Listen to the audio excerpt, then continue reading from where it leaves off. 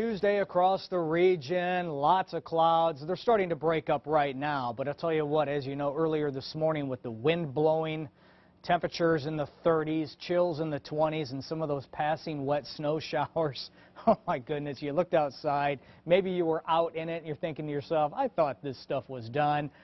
Well, the snow shower activity is out of here. Now we just have to get through tonight's cold weather. A freeze warning has been issued. After we get through tonight and tomorrow morning, much better weather is headed back into the region. Right now, partly cloudy skies over downtown Louisville and much of the viewing area. Live look from the tower cam back towards beautiful Louisville. And you can see, well, hey, check out all the green that has just really started to pop on the trees, the bushes out there from the warm temperatures we had the past couple of days, readings in the 80s. It didn't take much to really get the greenery going, so to speak, and we will resume with those warm temperatures uh, after tonight and tomorrow morning. Right now it's chilly out there. 43 to 47 is the range around town. 40% uh, on the humidity and northwest breeze between 10 and 15 miles per hour. That is now coming down and it will go almost calm a little bit later on tonight. 30s and 40s widespread across all of the region.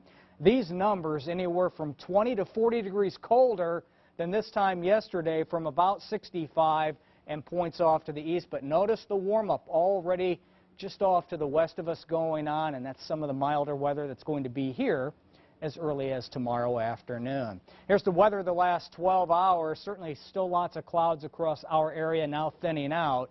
But yesterday's and last night's rainmaker, a little bit of lightning and thunder, and the wet snowmaker now well off to the east and also the northeast. Behind it, the cold air continues to funnel in from the north. High pressure is going to be building in, and this bubble of high pressure is a chilly one. Uh, we have freeze warnings in effect not only here, but all the way from our region through the Tennessee Valley on into the deep south. That's how cold this air mass is. And overnight tonight around our region in your hometown, those temperatures will fall back into the middle and upper 20s outside the metro. We're expecting 31 in the downtown area. To say the least, a freeze warning in effect. If you have those real delicate plants, be sure and cover them up before you go to bed tonight. Here's the good news. After tonight and tomorrow morning, the chilly weather, a nice rebound tomorrow. Lots of sunshine, light winds. Temperatures will top out in the upper 50s. We're expecting 61 in the metro for tomorrow afternoon, and that warm-up will continue as we round out the work week. Here is Thursday. We're on the backside of the high. Southeasterly breezes, a mix of clouds and sunshine. That's more like it. 67. Just one little bump in the road that comes on Friday. There could be a few light showers come Friday, especially midday as a weak frontal system approaches. Otherwise, it'll still be mild in the upper 60s. Once we get rid of this system for Friday, oh, the weekend is looking absolutely gorgeous. Here we go with the details. For this evening, clearing skies, those temperatures will be dropping through the lower 40s, down to 39 at 10 o'clock tonight, mostly clear. We're going to wake up to 31 tomorrow morning in the city but 20s in outlying regions.